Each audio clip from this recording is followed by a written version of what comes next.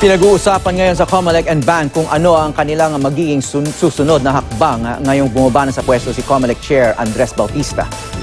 Tinanggap na ni Pangulong Duterte ang pagbibitiw ni Bautista pero imbis na sa katapusan ng taon na nakasaad sa liham ni ah, Bautista, ginawa agad itong epektibo.